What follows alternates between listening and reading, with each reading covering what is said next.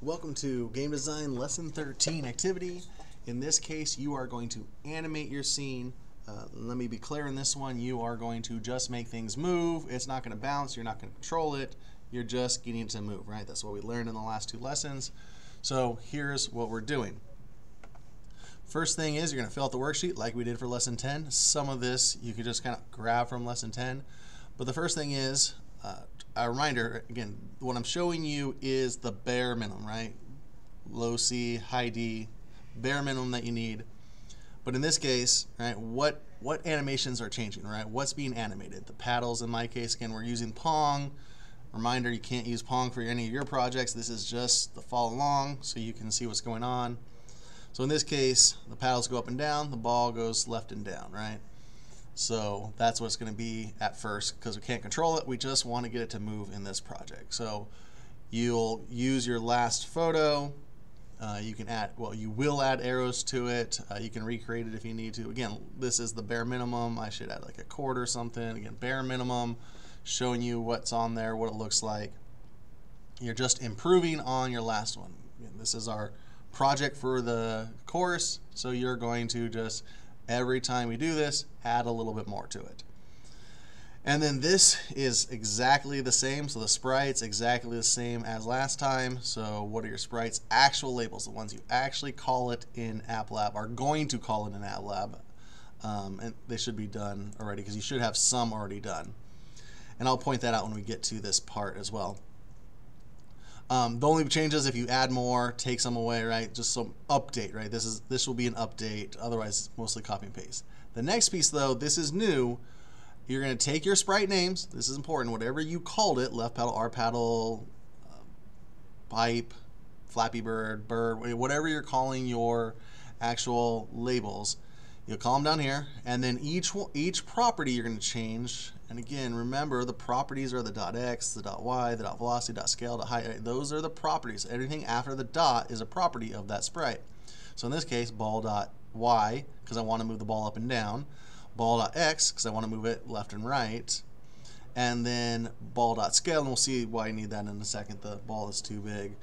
And then L paddle Y, R paddle Y, right? Those, those allow it to go up and down, right? So this is the Y, for the paddles, and then the ball is going to be able to go up and down, and it needs to be shrunk. Again, we'll see that in a second. And then it's a counter, so I just was a little more specific, counter up, counter down, uh, and that, that's just the initial, right? So it's all counter, so if you remember, 0, 0, this is 400, 400, so if you want it to go down, it needs to go up, y needs to go up, and if you want it to go up, the y needs to go down, right? And same, same concept with x.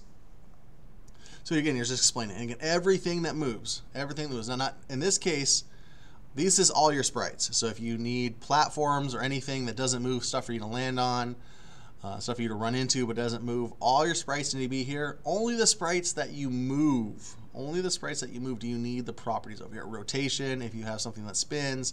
And remember, what's going to happen is it's just going to fly off the screen, right? It's just going to fly off the screen. We'll see this in a second. That's fine. It's just going to fly off the screen for now. We're just trying to understand getting it to move.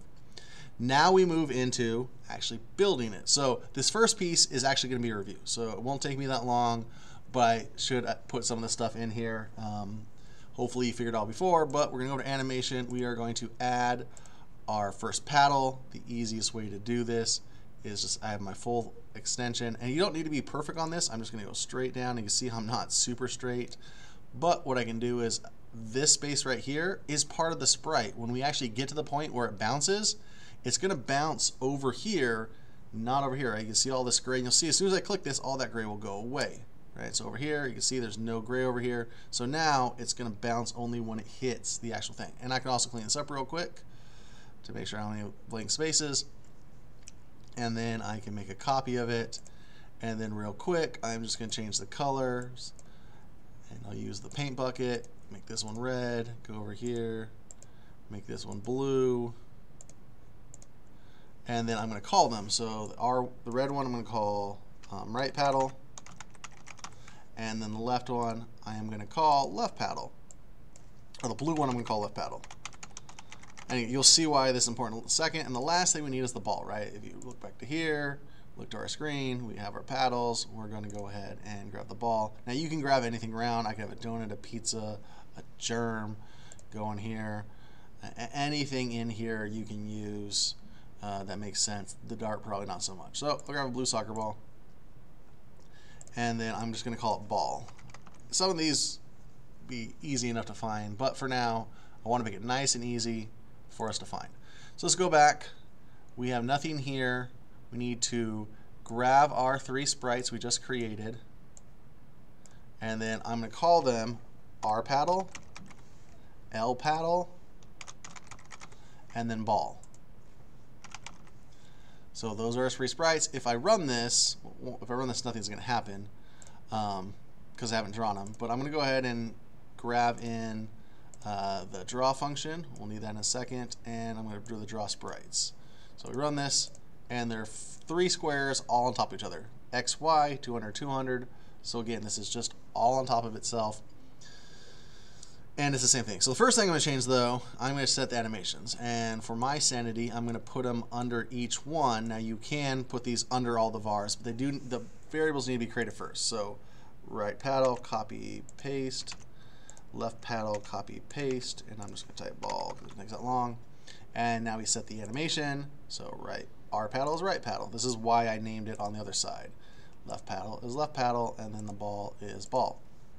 Now run this you'll see that the ball is on top of everything. I don't need to reorder anything. Once I shrink this, it'll work. So if we go to sprite.scale and we go to ball, and I believe 0.1 will do the trick. All right, so we can see the other paddles. The right paddle is under the blue one, but that'll be simple fix we just move them to the right spot. Now remember, this is 400 over here, this is 0 over here, this is X and Y. So the Y is already good. I'm going to start everything in the middle. So the, the second 200 is good, but this right paddle, I need to move over here. Again, this is the red one, so when we change this, we'll see the red one. Now I don't want 400 because that'll technically put half of the paddle off. So I'm going to put 390. And this should do it. There, red paddle's over there. So with that same thing, the left paddle, I'm going to put 10. And that boosts the other side. Now I think there still might be a little bit off, but that will work well. We have everything on there. Now, this is where you should be at, all right? So lesson 10, this is where you should already be at. You are now going to go ahead and add the movement, right? That's all we're doing is we're going to get this to move. I'm going to make this blue paddle go up. I'm going to make this ball go down this direction and this red paddle go down this direction. We'll learn next lesson how to make it go with uh, keyboard commands, but for now, we just want to get it to move just like we have an example. It's going to go one direction and that's it, right? So with that, what I'm going to do is kind of put all this code out and then kind of modify it as needed. So all of these need to go down, right? So sprite Y, sprite Y, sprite Y. Well, this is going to go up, but they're all going to move up and down, right? So for that, to make this one move up, we need a minus, right? Because this is 200, it needs to go to zero, so that's minus. So I'm going to grab the minus sign in here. And then the other two need plus, so I'm going to add plus here. And then I'm going to go back to sprites.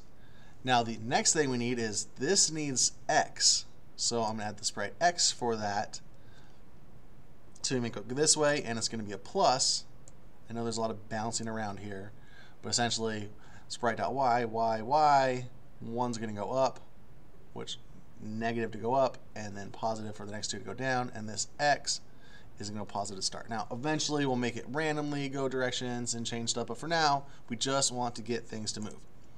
So finally, let's go back in, add the sprite y for the first three, and then sprite x for last one. Now we're going to do right, right pa uh, left paddle is the one that's going to go up. So left paddle is going to go up. So I'm going to just copy this. So copy, paste, paste. And the right paddle is going to go down. So I'll paste that. And then ball is going to go up and to the right. Or go down and to the right. Now, whatever number we put in here is a speed, right? So it's 200 now. So it's y is 200. And if we want to plus it, right, that's going to make it go down. So if I do 5, it'll go 200, 200 plus 5 is 205, and this, remember, this keeps running, so 205, 210, this runs again, 215. So I'm just going to put 5 in here. It's going to be fairly quick. You can change numbers um, as needed. I'm going to do 5. And with this, now I know there's going to snake here, but I want to show you this because this is a very common mistake. When I run this, you see this is what I call stamping, right? It's stamped over everything. That's a problem. Quick and easy fix is throwing a background in there every single time. So I run this again, and there you go. Now it actually looks like it, because again, it's stamping over each other. So by doing this, you put background over everything, stamp, put background over the old stuff, new stamp. That's what's happening. That's that's the fix to that. And again, it, everything just runs off, right? Everything runs off. That's fine. That's all there is to the movement piece, right? So you should already have this top piece done. You're adding the draw function and you're getting your things to move. Whatever it is, you might have a lot of stuff to move. You might have a lot of things move off the edge, shoot stuff shooting down. If you have like a turret or something, you might just have it spin infinitely in a circle, right? Again, you're just getting everything that's going to move needs to move. So you may have more, shouldn't have any less, uh, maybe one less, but again, you should have everything move that's going to move. Not every single sprite needs to move. You might have a platform that just sits there and does nothing, so it can jump on it. But everything that moves needs to move. And we'll gain control of it later, but that's it. All right, last piece, just like last time, what makes, again, bare minimum, what makes you proud of this and why, uh, and then what was the most challenging, right? What, what was hard? Was it remembering this? I've seen some students do ball Y equals ball X, and then it just looks really weird, and they're like, what's going on? Um, shoots over places. So again, making sure you have everything. If you forget this, again, remembering to do stuff. What was hard? Again, these are the bare minimum answers. And that's it, right? That's lesson 13's activity is making it move. So taking whatever you had, whatever game you had, and moving it. Again, you can't do Pong.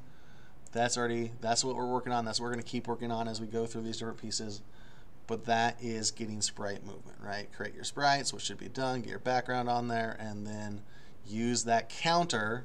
That's where it comes down here and says the X and Y, and we come back here, right? I move the ball at Y, that was my ball Y, right? So this is why you figure out what you need to change, because when you come over here, I already have my program written for me. It's right here, right? There's all my changes, my scale, my Y, Y, Y, and X.